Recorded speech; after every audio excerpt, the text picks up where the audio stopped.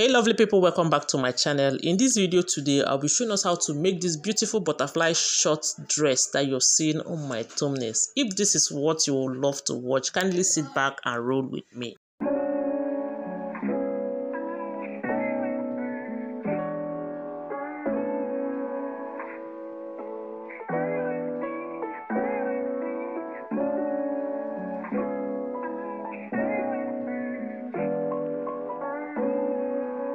On my table right now is a two and a half yard of African print material. I've already gone ahead to fold it into two, then into four because I want to cut the front and the back side together. So I'll go ahead and take my measurement. First of all, I'll be going ahead to draw the border line. Once I'm done drawing the borderline, from the borderline, I will take the length of the dress I'm making right now. The length of the dress I am making right now is 42 and the material itself is 44 so I'm going to be leaving it at that. The 2 inches will be for the hemming. For this particular dress I'm making right now, I'll be taking my measurement on the right side. This is not the wrong side of the material. It is the right side of the material.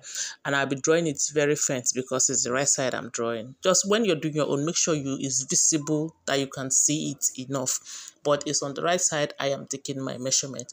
So I'm going to go ahead and take the shoulder measurement. The shoulder measurement here is 16 and 16 divided by 2 is 8. And then my my um sleeve length is 9 so I will just go ahead and add 9 inches to the 7 inches making it 16 then I'll add extra 2 inches making it 18 so I will take my shoulder measurement at 18 because it's a cut together sleeve. Then what will I do again right now? I will go ahead and mark 18 down i'll make sure i take 18 to be the width of the dress. So i'll just mark 18 and then i'll draw a straight line to connect the dots down down. That will be the width of the dress.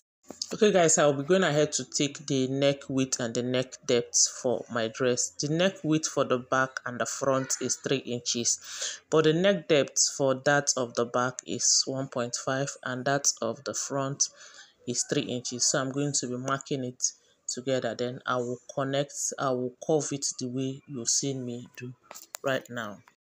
After I'm done with that I'm going to go ahead and take my um, bust point as in from my shoulder to my bust is 12 inches. I'm going to just identify it by drawing a mark. Then from there I'll take my bust circumference. My bust circumference here is um 39 39 divided by 4 is 9.75 I'll go ahead and mark it then I will add one inch ease allowance. So what I'll be taking there actually is 10.75, not 9.75, because I'm adding one inch ease allowance. So I will mark it. Remember, I am doing this thing to be faint. It's going to be faint. You might not see it, but I'll make it as visible as I can see it so that when I am stitching, I'll be able to stitch in the right areas. If you're doing your own, make sure you do it as visible as possible so that you'll be able to see the lines when you're stitching. So I'll go ahead and identify my waist. My waist from my shoulder, it's is 18 then I'll just identify it too and then take my waist measurement my waist circumference is 36 36 divided by 4 is 8 then I'll mark it there and then I will take my I'll add 1 inch ease allowance. Then I'll just mark it there.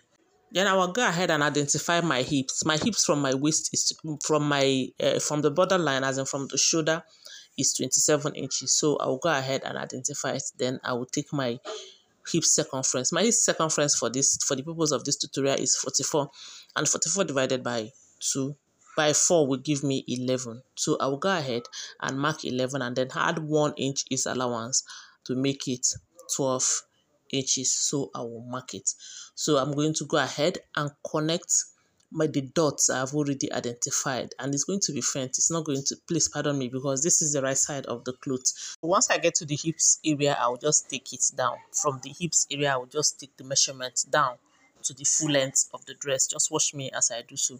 And once I am done with these measurements, I will go ahead and cut it out. And remember, I am not cutting from my body measurement itself. I am cutting from the width of the dress already that I've, I've, I've marked in the first place. Okay, once I'm done with it, I forgot to come down by one one inch on the shoulder area. So that's what I'll be doing right now. I'll be coming down by one and a half inch on the shoulder area because this is a cut together sleeve. So I'm coming down by one and a half inch. And once I have come down by one and a half inch, I'm going to connect it directly to my neck width. Then once I'm done with that, I'll go ahead and cut out the material that I have already measured. Remember, I am not cutting from here. I'm cutting from here. So just watch me as I do so. This place is for stitching. The body measurement I identified is for stitching, not for cutout. So just watch me as I do this. So I'm done cutting it out. Now what I'm going to go ahead to do is to separate, bring out the back, the um the one for the back. Then I, I will now cut the neck width of the front. You know the neck width is different. So I'm going to cut the neck width of the front. When you're cutting your own, you first of all cut the neck width of the back so that it will not affect the front. Then you will remove the back the way I have already done now and I am cutting the front. So from here now, I'm going to go down by, from on the neck, on the center front of the neck, I'm going to come down by 4 inches to create a slant, create an opening because there's an opening for the mat for the style I am sewing. So that's what I'm doing right now. I'm going to slash it open right now. So, so once I'm done with this, I'm going to be going ahead to transfer the body measurements of this as in the chalk, which I have already marked on this to the other side of the material. I'm going to open it up and then transfer the measurements to the other side of the material. So this that, that's what I'm showing you right, right now because I'm going to be transferring it to the other side because that's where I'll be sewing. Then once I am done transferring it, I'm going to add a little design and this is what I'll be using for the design. Okay, I've already gone ahead to cut it out and placed it on the area I want it to be. And this is the front, this is the back. I turned it and put it at the right side, wrong side, because I'll be turning it once I am done stitching it in the front. I'm going to use it to turn it and it's going to be in the front area. So I've put it on the wrong side. I've gone ahead to use my pin to secure it on the neck. So I'm going to go ahead and stitch it on my on the machine by half an inch. Once I am done stitching it by half an inch, the way I am showing you right now, that's the way I'm going to be stitching it on the machine. Then I will come and show you. I'll come and bring it so that we'll turn it turn it together once I am done stitching it on my machine by half an inch, I will bring it back. Then we'll see it together. We are working on this together. Okay, here we'll have it. I am done stitching it by half an inch. The next thing I'm going to be doing is to take my scissors and then give it a notch. Cut it and doing this you have to be very careful not to cut your stitches because if you cut through your stitches you have to start afresh so you just give it a little notch to so that when you turn it over the cloth will relax so i'm going ahead to turn it over you're going to turn your own the way you see me do right now so once i am done turning it over you're going to see the results. I hope you're enjoying this class. I hope you're with me. Kindly give it a thumbs up if you are enjoying the class and I hope you are going to give it a try. So what I'll be doing ahead to do next is to give it a good ironing. Once I'm done with that, we'll go ahead and do the next thing. So right now I am done ironing it. So what will I do next? I'll be using my hemming gum to hold it down the way you're seeing me do. I'm first I'm going to first of all fold the edge so that not to allow it to flay. I'm going to fold the edge. Once I fold the edge and iron it down, then I'll use my hemming gum to gum it to the dress so that it wouldn't shift when I am sewing it on the machine. So that's what I'm doing right now. So once you use your hemming gum to hold it down on the material, sewing it, stitching it on the machine will not be difficult for you because it wouldn't shift. It will just make it your work easier. So working with hemming gum is a very beautiful thing. Always get your hemming gum and stick it. But if you don't have, have hemming gum, you can go ahead and just stitch it on your own. So I am done stitching it right now. You can see it is already okay. I am done stitching. I've done the stitching and it's okay. So what will I be doing now? I'll be taking the back and lay it on the front uh, and lay it on the front that is right side facing right side I will join the shoulder but before I go ahead to join the shoulder I will be using I'll go ahead and use the material to form something like a bias and use it to turn the back neck side which I have not done so I'm going to just use it and turn the back neck side. Once I'm done with that, you're going to see it. Look at what I'll be using to join to turn the back uh, the back neck side. So I'll sew it like that, half an inch. Then I will turn it over, then and sew it, and it's going to be neatly done so that I it to turn the back side.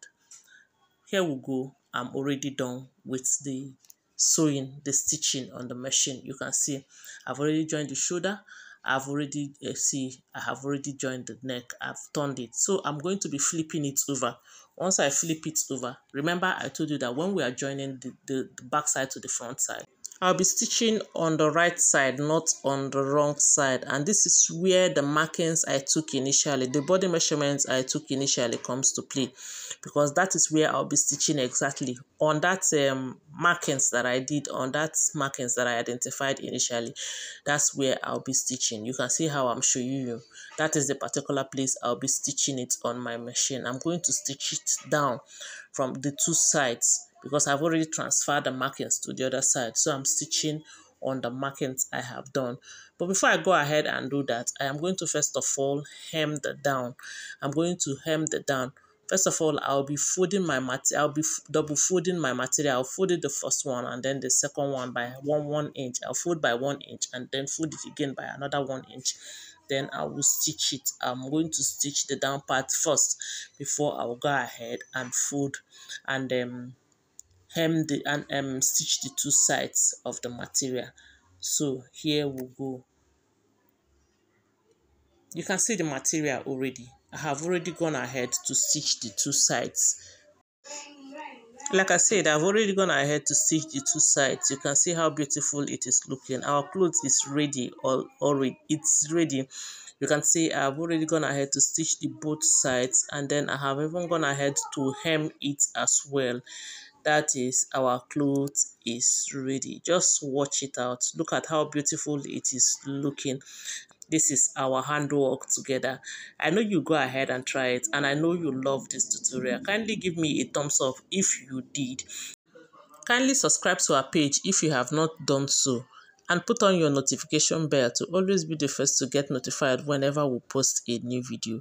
I know you found this tutorial helpful. Thank you so much for sitting through. Thank you for watching and thank you for always coming around to check on us. You guys are wonderful and amazing. I love you all. I love you so much. See you in my next. Bye.